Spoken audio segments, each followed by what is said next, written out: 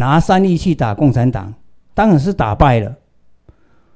顿文大骂，这些人都是贼。这个贼跑到台湾来，居然台湾人迎接他，欢迎他，还感谢他。这实在是本土台湾人最大的耻辱，最大的耻辱。Paul Mas 曾经说是日本国耻。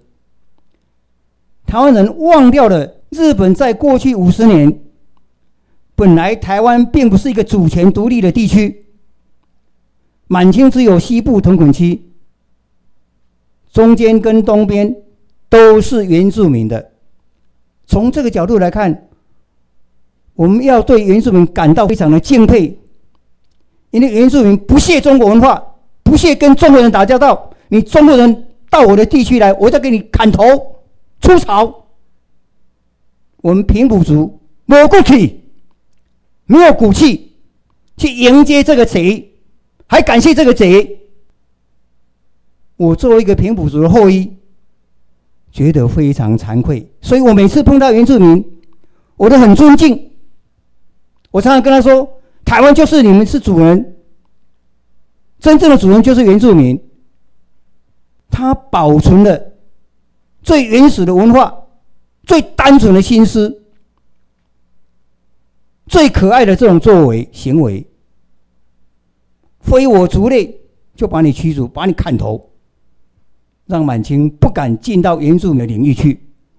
所以，保持台湾这一块净土，满清割让，永久割让台湾给日本。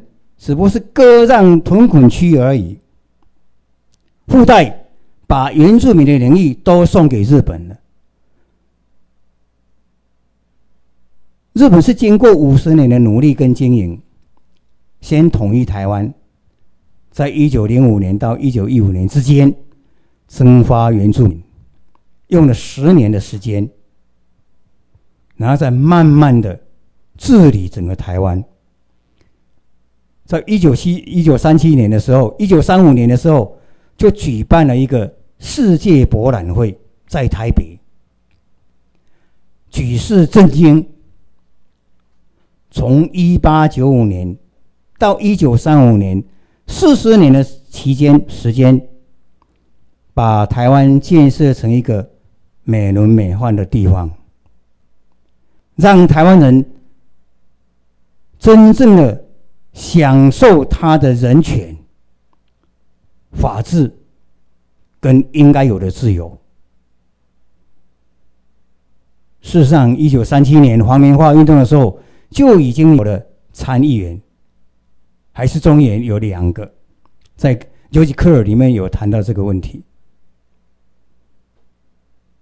日本是根据国际法，一步一步的。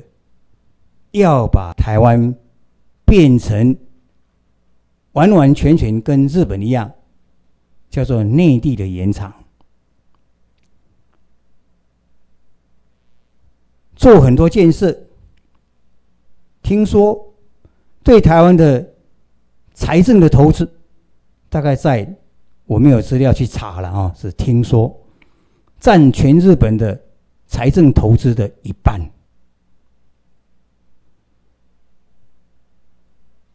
当后藤新平在建设台北市的时候，一九四五年，台北市的下水道卫生下水道有百分之三十七的面积比东京来的大。各位如果看现在的中山南路，那么宽敞的道路，就是在那个时候建设成的。连日本到台湾来。当官的人都觉得非常惊奇，比东京的道路还来得宽敞，还来得有水准呢。做这么多的建设，尤其是什么教育方面，还有法治方面，让台湾真正的有一个政治的文明，大家都守规矩、守法令规章。警察、法院也不会像现在这样论判，也不会像现在有那么多特权，有钱判生，无钱判死。有一个作家叫杨奎，我早年在东海大学教书的时候，他呢有一个东海花园，就在东海大学校门口的对面，大概两百公尺左右。我常常去找他聊天。他在日本时代、日治时代，有了思想上的问题，顶多关几天，被抓去关的时候。就治安检查事件抓去关着二十九天，到国民党到台湾了之后呢，在白色恐怖期间，或者在二二八事变以后的那一段日子，他因为写了一点东西，触怒了蒋介石，关了十年了。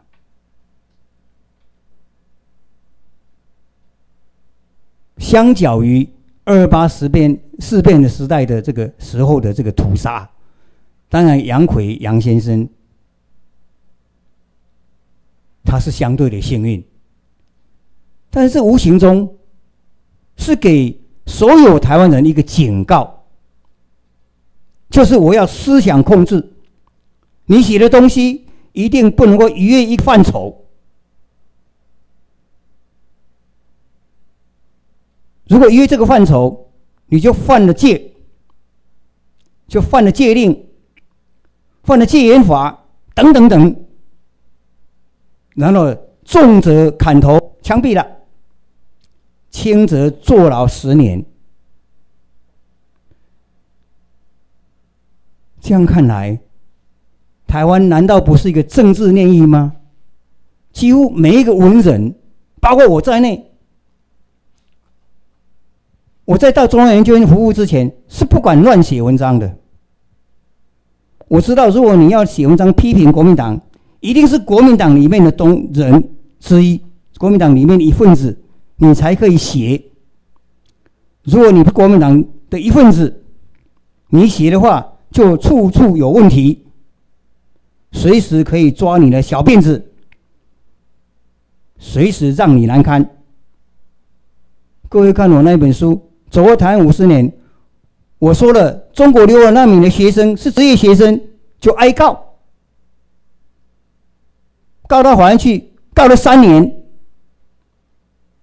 这些时间精神的浪费不说，还要赔他赔偿，还要登报道歉，这不是对台湾人的一种侮辱吗？从这么多角度来看，台湾人是不是应该真正的去觉醒？到说，不管你往东往西都很自由，或者你再花天酒地都没问题，你一定要想象一下，台湾确确实实是一个政治炼狱。如果这一点都想不通，就不可能让整体台湾人、全体台湾人都觉悟，然后觉悟了以后呢，才能够真正的了解自己身处的地方、身处的世世界是个什么样的一个世界，你才会好好的检讨。好好了解，好好去探讨，我们怎么样子去去除我们心灵的枷锁？我们本土台湾人怎么样才能够真正的把这个炼狱打垮？就像打垮柏林围墙一样，然后重获得应有的自由跟人权。各位想象一下。到现在，今天已经二十一世纪的第十二年了，还有那么大的差别待遇。只要是你是流亡难民的军人，你的退伍的这个退休抚恤的抚恤金就是一万五千块。难道只有他对台湾有贡献？那其他人三千块就差五倍，怎么会有这么大的差距？光这一点具体的事实，就值得我们用脑筋去思考，而不是用你的气概想。所以啊，我们从这些现象来综合一下。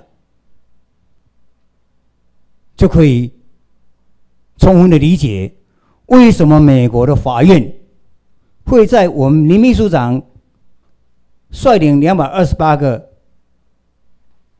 我们的台湾精英去告美国政府的时候，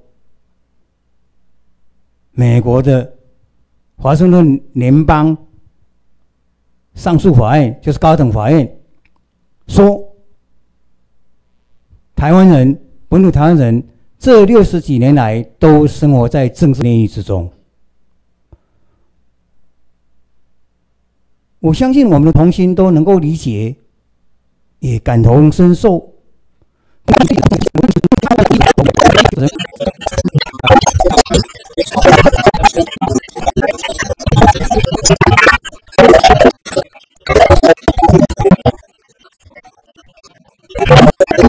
肩负多大的责任？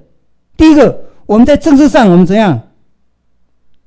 我们一定要做很严肃的改革。